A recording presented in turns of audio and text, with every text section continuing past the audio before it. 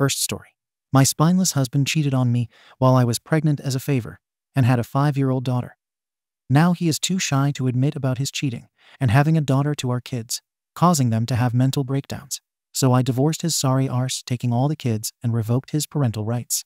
My 34F life is falling apart, and it's all thanks to my husband. We had a perfect life. Both of us worked in the jobs we loved, and we have a beautiful daughter, 10F, and a healthy son, 5M. When I was pregnant with our son, we both almost died due to complications. So before the birth and even afterwards, I didn't want to have SX. Why would I? I almost died, and my body was in pain for months afterwards, even with strong medication.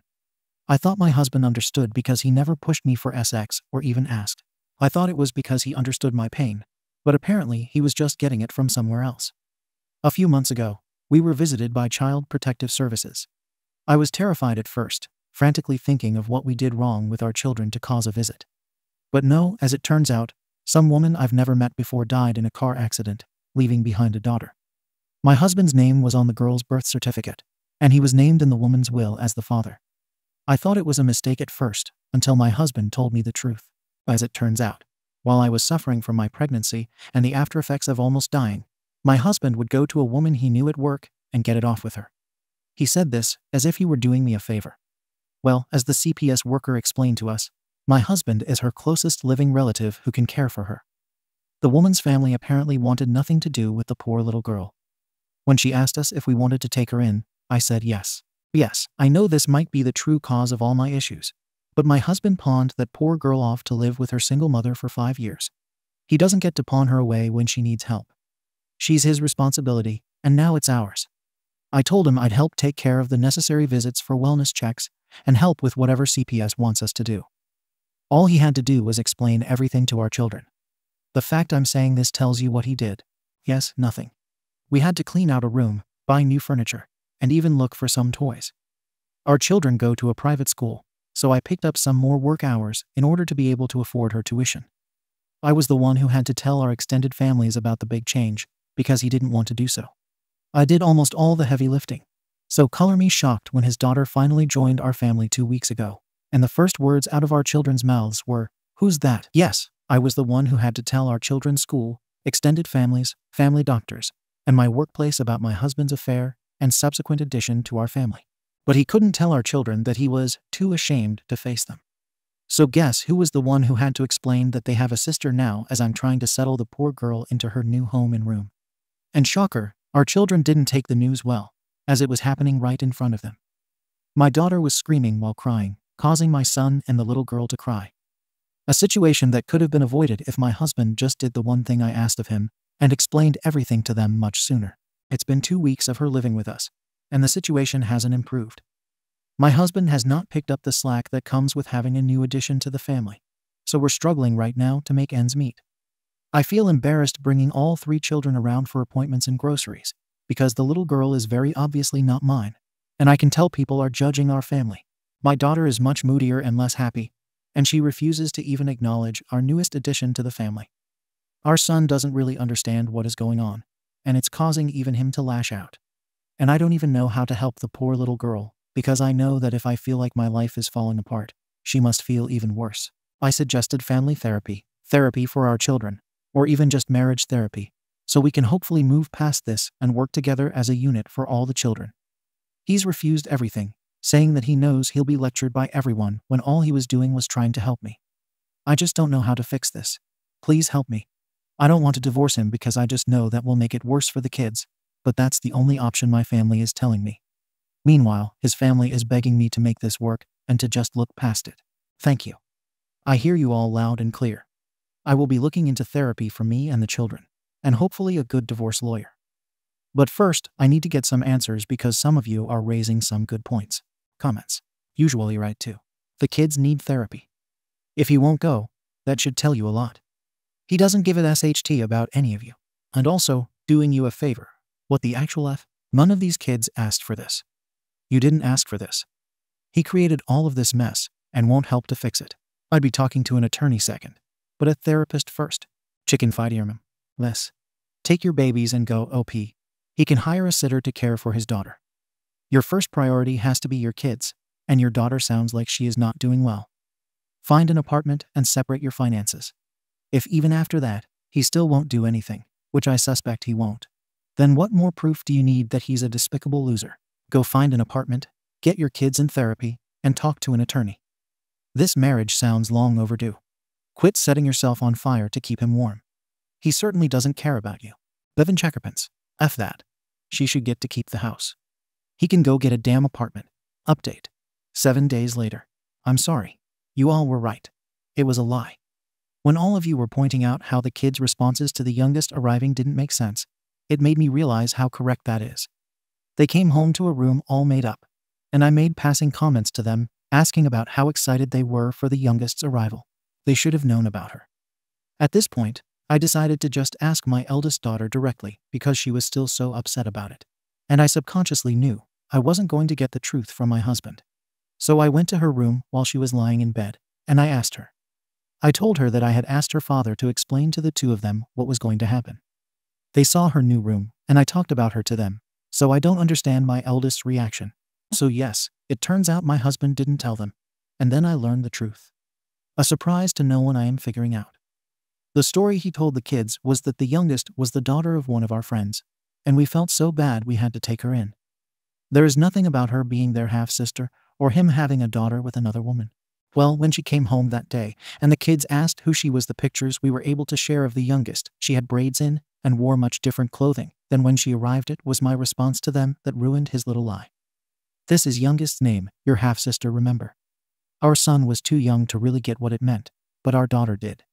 That's why she freaked out that day, not because of the new addition to the family, but because of what the new addition meant. I apologize for causing her to freak out that day, for not sitting both her and her brother down for a real discussion over how they feel, and to make sure their father did what he was supposed to do, and for only talking to her, now after she had a much deserved reaction to it all. My daughter accepted the apology, and I asked her if that was why she was distant from the youngest. She told me that's part of it, and because word got out at her school about what the newest addition to our family going to the school meant. Now she's getting teased and picked on for having a father who cheated. It broke my heart to realize just how badly I messed up. By continuing to beg the spineless man, they called a father to help them, and then allowing myself to get shut down. I was essentially allowing all the kids' needs to be ignored. I told my daughter I'd sign her and her brother and sister up for therapy. Of course, the pathetic man tried to plead with me, not to when I mentioned signing the kids up, but I told him to give it up already. All three children's lives have changed, and it will help them adjust to having a professional to speak to. He's been grumbling and whining about it, but I don't care anymore and this might cause many to be upset with me, but I'm in the process with my husband to have him transfer custody of the youngest to me. I've grown to care for her, and as some comments in my last post have pointed out, once I do divorce him and leave with our kids, I don't doubt he'll treat her awfully or neglect her. He's been right on board, and it took some convincing, but his parents finally agreed to be witnesses. I got all the paperwork set up and scheduled an appointment with an attorney to help with anything else. Once that happens, I'll try to get everything I need in order to have a smoother divorce, and then make a subsequent move to be closer to my family. Thank you to everyone for giving me a good slap in the face and helping me realize that the children and I deserve better. And I was being so gullible into thinking a man who cheats on his dying pregnant wife is deserving of any respect. Comments. Pankaquagan 26. You're doing a very noble thing by taking care of this girl. She's not your responsibility, but you're taking it on anyway. You're an angel. Second story.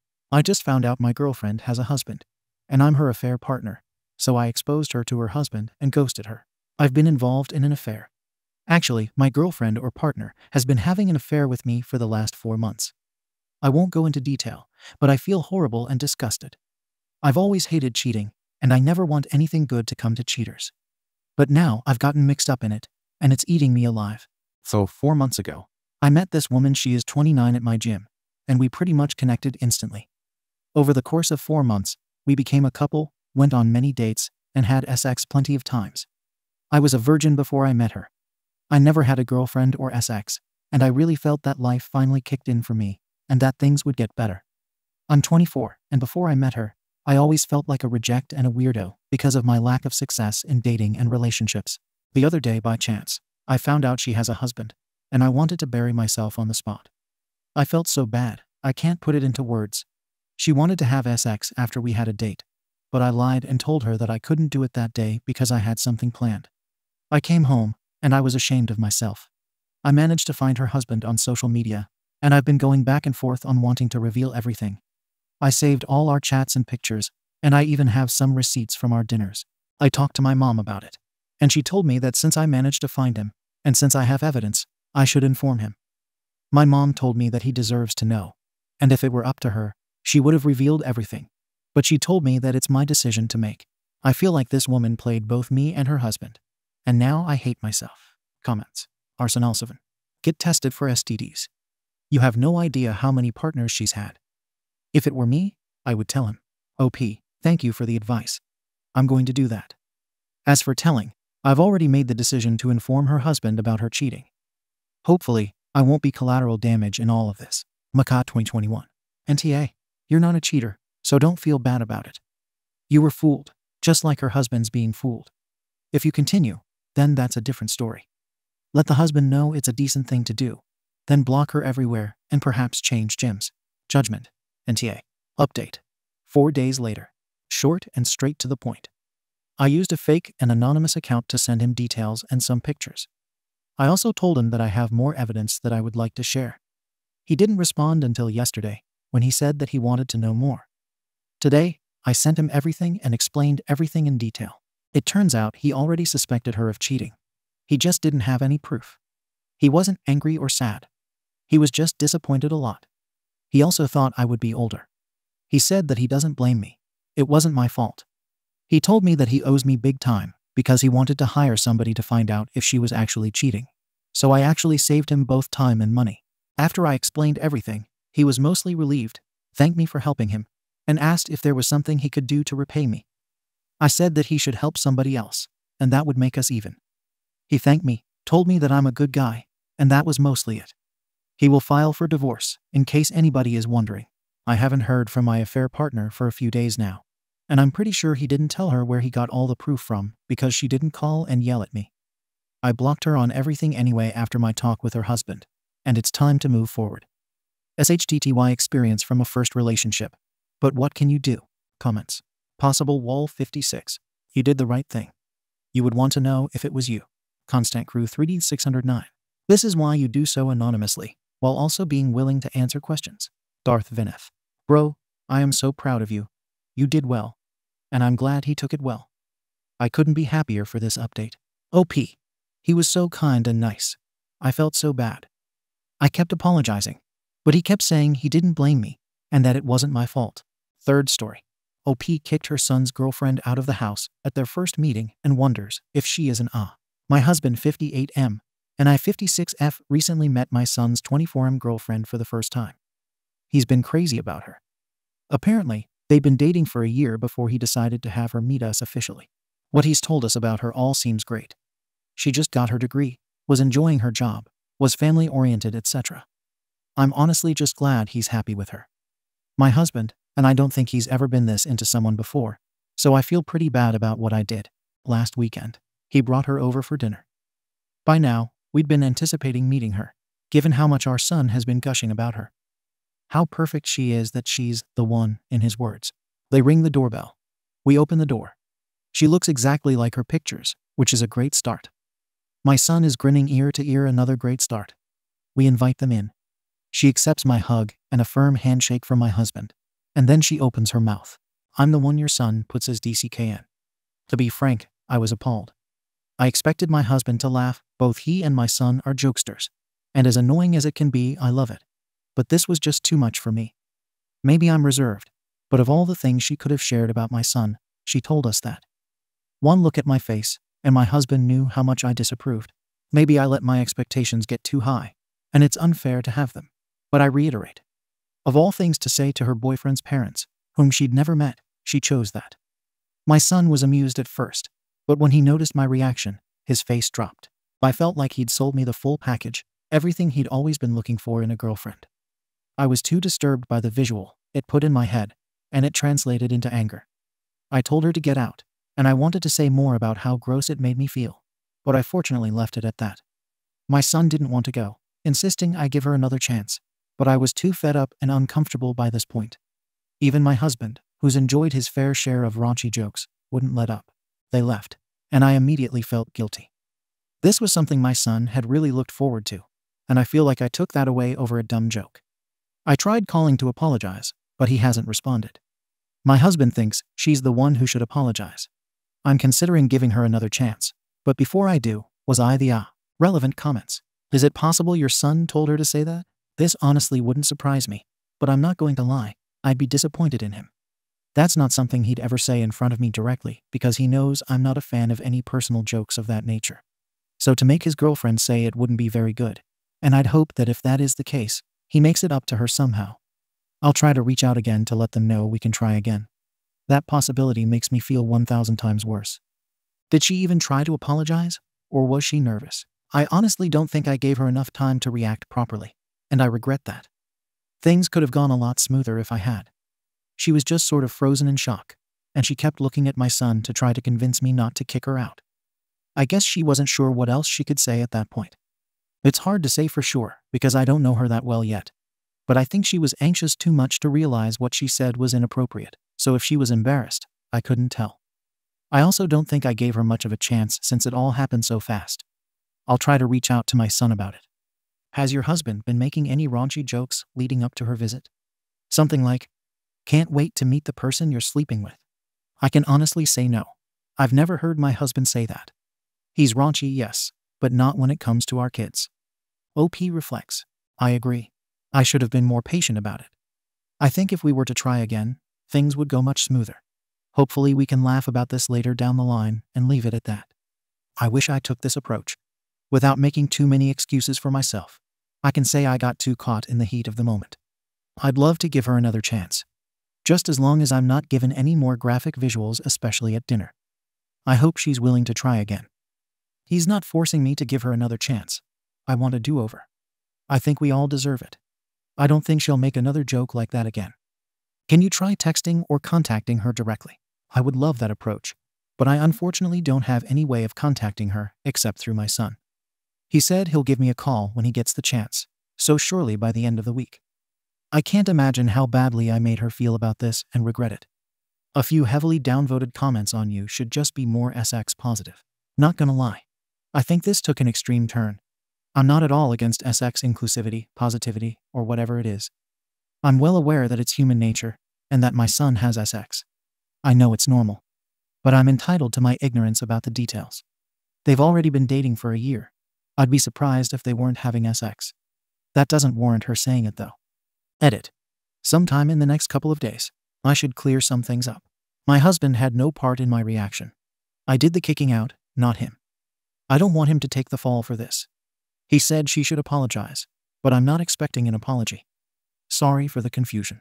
My son lives in a nearby state. It can take about an hour to get back to where we live. He also hasn't dated anyone seriously for a while, maybe a couple of years. He told us before that he wouldn't bring anyone home unless he's sure he wants a future with her. We've been asking to meet her ever since he told us about her, but he wanted to be ready. The comment about her looking like her picture shows my age. Sorry for that. He's only shown us the photos she sent him. As he apparently didn't have any of them together, he hates taking pictures. And apparently, she's always teasing him about it. I don't think he'd ever lie about who she is, but it's just a parental concern I've subconsciously had. I felt the same way about my daughter's then boyfriend when we first met him. I don't have any criteria that either of my kids' spouses need to meet. I just hope my kids are happy with them. What I meant by her being the full package was indicative of what he's told us about her. As his parents, we have a good idea of what he looks for in a partner, and she checked off everything based on what we'd been told. And on top of everything aside from what she said, her appearance was how she presented it to be. Again, we aren't strict about appearances. It's just a relief to have met someone for the first time, and they look like what you'd expected.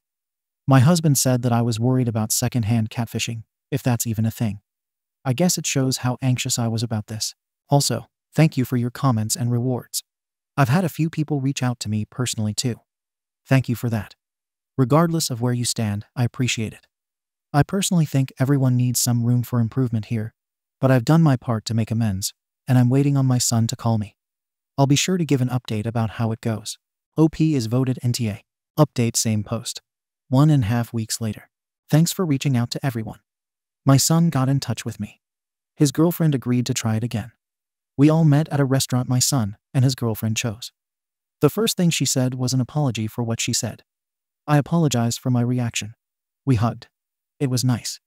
She then explained how my son had convinced her a joke like that would land well, and that she wouldn't have said it if she didn't think we'd like it. According to my son, she was reluctant to open with any jokes at all, but they came up with that one together on the way over.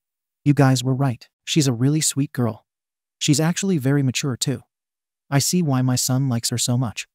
My husband and I really like her. We told our son to bring her when he visits. We look forward to seeing them again. Overall, I'm glad we could start over. On the right foot this time. Thanks to everyone for their input. Thank you for watching the video. If you are interested in listening to these kinds of stories, we've got more in store for you. Simply subscribe to our channel, hit the like button, and share it with your friends.